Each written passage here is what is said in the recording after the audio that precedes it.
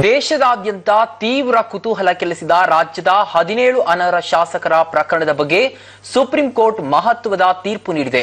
ಅಂದಿನ ಸ್ಪೀಕರ್ ಆಗಿರುವಂತಹ ರಮೇಶ್ ಕುಮಾರ್ ನೀಡಿದ ಶಾಸಕರ ಅನರ್ಹತೆ ಆದೇಶವನ್ನ ಕೋರ್ಟ್ ಎತ್ತಿ ಹಿಡಿದಿದೆ.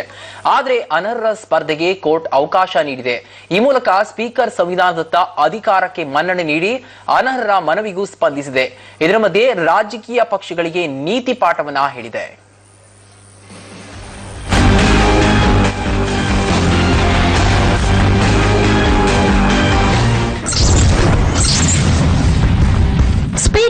ಆದೇಶಕ್ಕೆ ಮನ್ನಣೆ, ಅನರ್ಹರಿಗೂ ರಿಲೀಫ್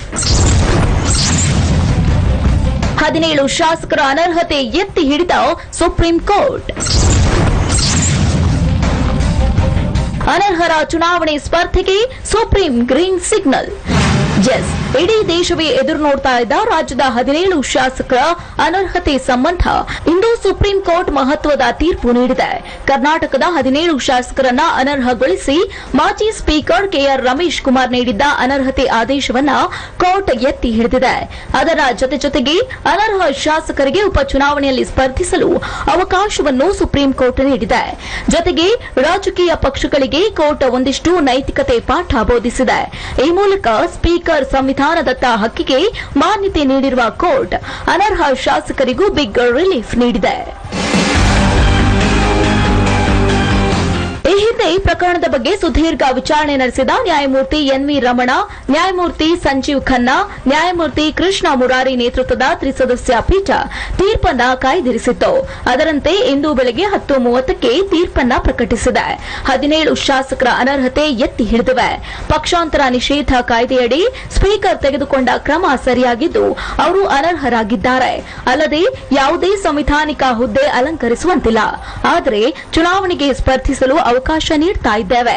ಎರಡ್ ಸಾವಿರದ ಇಪ್ಪತ್ಮೂರರವರೆಗೂ ಚುನಾವಣೆಗೆ ಸ್ಪರ್ಧಿಸಲು ನಿರ್ಬಂಧ ಹೇರುವುದು ಸರಿಯಲ್ಲ ಅನರ್ಹ ಶಾಸಕರು ನೇರವಾಗಿ ಸುಪ್ರೀಂ ಕೋರ್ಟ್ಗೆ ಅರ್ಜಿ ಸಲ್ಲಿಸಬಾರದಿತ್ತು. ಎರಡೆರಡು ವಿಚಾರವಾಗಿ ಬೇಡ ಎಂದು ನಾವೇ ವಿಚಾರಣೆ ಕೈಗೆತ್ತಿಕೊಂಡೆವು. ಅನರ್ಹರು ನೇರವಾಗಿ ಸುಪ್ರೀಂ ಕೋರ್ಟ್ಗೆ ಬಂದ ನಡೆಯನ್ನ ನಾವು ಸ್ವಾಗತಿಸಲ್ಲ. ಶೆಡ್ಯೂಲ್ ಹತ್ತರ ಪ್ರಕಾರ ರಾಜೀನಾಮೆ ಅಥವಾ ಅನರ್ಹತೆ ಎರಡರಿಂದಲೂ ಶಾಸಕ ಸ್ಥಾನ ಖಾಲಿ ಎಂದು ಅನರ್ಹರ ನಡೆಗಳ ವಿರುದ್ಧ ನ್ಯಾಯಪೀಠ ಅಸಮಾಧಾನ ಹೊರಹಾಕಿದೆ.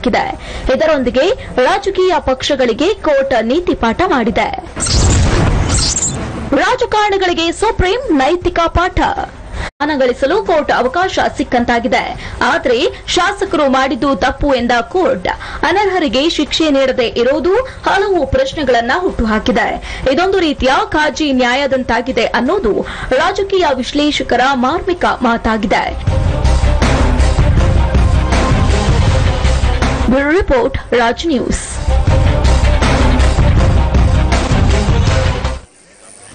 Raj news ಮುದ್ರಿತೆ ಸಣ್ಣ ವಿರಾಮದ ಬಳಿಕ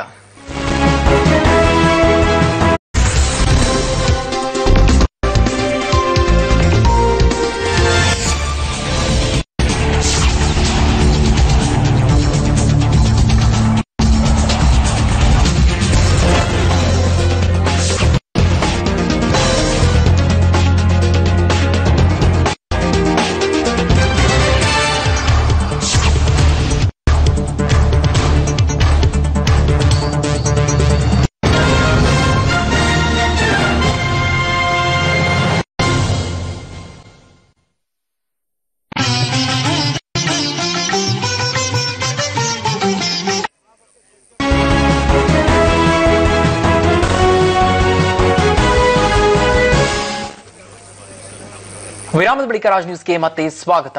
ಅನರ್ಹತೆ ವಿಚಾರವಾಗಿ ಸುಪ್ರೀಂ ತೀರ್ಪು ಎಲ್ಲಾ ರಾಜಕೀಯ ಪಕ್ಷಗಳು ಸ್ವಾಗತಿಸಿವೆ. ಚುನಾವಣೆಗೆ ಸ್ಪರ್ಧೆಗೆ ಅವಕಾಶ ನೀಡಿದ್ದಕ್ಕೆ ಅನರ್ಹ ಕ್ಷೇತ್ರಗಳಲ್ಲಿ ಅವರ ಬೆಂಬಲಿಗರು ಸಂಭ್ರಮಾಚರಣೆಯನ್ನ ನಡೆಸಿದ್ದಾರೆ. ಇತ್ತ ಅನರ್ಹತೆಯನ್ನ ಎತ್ತಿ ಹಿಡಿದಿದ್ದಕ್ಕಾಗಿ ಕಾಂಗ್ರೆಸ್ ಸಹ ನಿರಾಳವಾಗಿದ್ದು, ಬೈ ಎಲೆಕ್ಷನ್ಗೆ ಸಿದ್ಧತೆಯನ್ನ ನಡೆಸಿದೆ.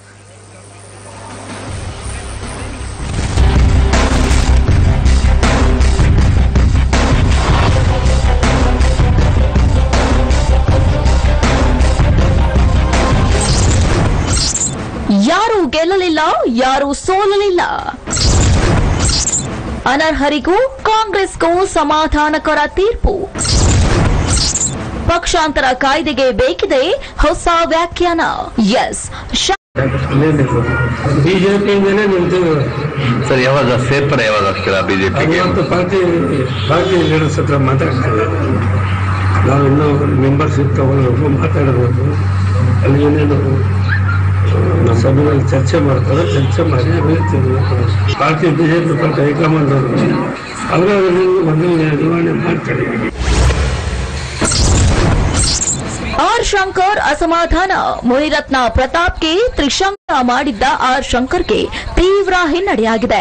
ಕೆಪಿಜೆಪಿಯನ್ನ ಕಾಂಗ್ರೆಸ್ ಜೊತೆ ವಿಲೀನಗೊಳಿಸಿರುವುದನ್ನ ಕೋರ್ಟ್ ಪರಿಗಣಿಸಿದ್ದು, ಉಳಿದವರ ಜೊತೆ ಶಂಕರ್ ಸಹ ಅನರ್ಹರಾಗಿದ್ದಾರೆ. ಮತ್ತೊಂದೆಡೆ ಆರ್ಆರ್ ಕ್ಷೇತ್ರದ ಮುನಿರತ್ನ ಹಾಗೂ ಮಸ್ಕಿ ಶಾಸಕ ಪ್ರತಾಪ್ ಗೌಡ ಪಾಟೀಲ್ ಅನರ್ಹರಾಗಿದ್ದಾರೆ. ಆದರೆ ಆ ಕ್ಷೇತ್ರಗಳಿಗೆ ಚುನಾವಣೆ ಘೋಷಣೆಯಾಗಿದ್ದರಿಂದ ಅವರು ಇತ ಶಾಸಕರು ಅಲ್ಲ, ಅತ ಚುನಾವಣೆಗೂ ನಿಲ್ಲುವಂತಿಲ್ಲ. ಹೀಗಾಗಿ ಅತಂತ್ರದಲ್ಲಿ ಸಿಲುಕಿದ್ದಾರೆ. ಸುಪ್ರೀಂ ತೀರ್ಪಿಗೆ ರಮೇಶ್ ಕುಮಾರ್ ಭಾಗಶಃ ಸಂತಸ. ಇತ್ತ ತಮ್ಮ ಆದೇಶ ಭಾಗಶಃ ಎತ್ತಿ ಹಿಡಿದಿರೋ ಸುಪ್ರೀಂ ಕೋರ್ಟ್ ತೀರ್ಪಿಗೆ ಮಾಜಿ ಸ್ಪೀಕರ್ ರಮೇಶ್ ಕುಮಾರ್ ಸಹ ಭಾಗಶಃ ಸಂತಸ ವ್ಯಕ್ತಪಡಿಸಿದ್ದಾರೆ. ಅನರ್ಹತೆಯ ವಿಚಾರದಲ್ಲಿ ರಾಜಕೀಯ ನೈತಿಕತೆಯ ಬಗ್ಗೆ ಇವೆಲ್ಲ ಮಾತನಾಡುವಾಗ ನನ್ನ ನಿಲುವನ್ನ ಅವರು ಒಪ್ಪಿಕೊಂಡಿದ್ದಾರೆ ಎಲ್ಲದರ ಕೀರ್ತಿ ನಾನು ನಮ್ಮ ಕ್ಷೇತ್ರದ ಜನರ ಪಾದಗಳಿಗೆ ಅರ್ಪಿಸ್ತೇನೆ. ಎಲ್ಲಿ ತಪ್ಪು ಮಾಡಿಬಿಡ್ತೇನೋ ಜನ ಎಲ್ಲಿ ತಲೆ ತಗ್ಗಿಸ್ಬೇಕಾಗುತ್ತೋ ಎಲ್ಲಿ ನನ್ನ ಮೇಲೆ ಏನಾದರೂ ಅವರು ಬೇರೆ ಅಭಿಪ್ರಾಯಕ್ಕೆ ಬರ್ತಾರೋ ಅಂತಿದ್ದೆ. ನನ್ನ ಗೌರವವನ್ನು ಕಾಪಾಡಿದ್ದಾರೆ. ಸುಪ್ರೀಂ ಕೋರ್ಟ್ ತೀರ್ಪಿನ ನಂತರ ಕಾಂಗ್ರೆಸ್ ಆಕ್ಟಿವ್ ಆಗಿದೆ. ಅನರ್ಹತೆಯನ್ನ ಕೋರ್ಟ್ ಒಪ್ಪಿಕೊಂಡಿದ್ದು ತಮ್ಮ ಗೆಲುವು ಅಂತ ಸಂತಸ ವ್ಯಕ್ತಪಡಿಸಿದ್ದಾರೆ. ಈ ಬೆನ್ನಲ್ಲೇ ಅನರ್ಹರನ್ನು ಸೋಲಿಸಲು ಸಿದ್ದತೆ ನಡೆಸಿಕೊಂಡಿದ್ದಾರೆ. ಅನರ್ಹತೆಯನ್ನೇ ಕಾಂಗ್ರೆಸ್ ಮತಾಸ್ತ್ರವಾಗಿ ಬಳಸಲು ನಿರ್ಧರಿಸಿದೆ. ಈ ಬಗ್ಗೆ ಪ್ರತಿಕ್ರಿಯಿಸಿದ ಮಾಜಿ ಸಿಎಂ ಸಿದ್ದರಾಮಯ್ಯ, ಜನರು ಜನದ್ರೋಹ ಮಾಡಿದವರನ್ನ ಸಹಿಸಿಕೊಳ್ಳುವುದಿಲ್ಲ. ಅನರ್ಹರು ನಿಂತರೂ. ದ್ರೋಹ ಮಾಡಿದವರನ್ನ ಸಹಿಸಿಕೊಳ್ಳುವುದಿಲ್ಲ. ಅನರ್ಹರು ನಿಂತರೂ ಕೂಡ ಜನ ಅವರನ್ನ ಸೋಲಿಸ್ತಾರೆ ಅಂತ ಭವಿಷ್ಯ ನುಡಿದಿದ್ದಾರೆ. ಪಾರ್ಸಿಯಲ್ಲಿ ಎತ್ತಿಡಿದಿದ್ದಾರೆ. ನಾಳೆ ಹೊಸಕೋಟೆ ಕದನಕ್ಕೆ ಬಚ್ಚೇಗೌಡರ ಪುತ್ರ ಪ್ರವೇಶ ಶೆಡ್ಯೂಲ್ ಪ್ರಕಾರ ಅವರು ನಡ್ಕೊಂಡಿಲ್ಲ. ಏನೇ ಇರಲಿ ಸ್ಪೀಕರ್ ನಿರ್ಧಾರ ಎತ್ತಿ ಹಿಡಿದಿರುವ ಸುಪ್ರೀಂ ಕೋರ್ಟ್ ತೀರ್ಪನ್ನ ಕಾಂಗ್ರೆಸ್ ನಾಯಕರು ಸ್ವಾಗತಿಸಿದ್ದು. ಅನರ್ಹ ಶಾಸಕರು ಸ್ಪರ್ಧಿಸಿದ್ರು ಸೋಲಲಿದ್ದಾರೆ ಎಂದು ಭವಿಷ್ಯ ನುಡಿದಿದ್ದಾರೆ. Political bureau Raj news.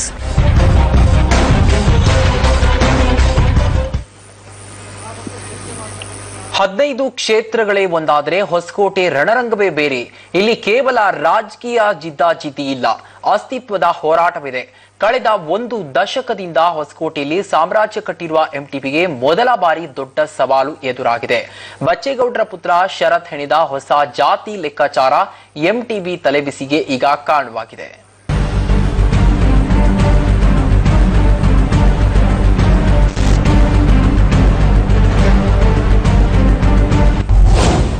ನಾಳೆ ಹೊಸಕೋಟೆ ಕದನಕ್ಕೆ ಬಚ್ಚೇಗೌಡರ ಪುತ್ರ ಪ್ರವೇಶ. ಹೊಸ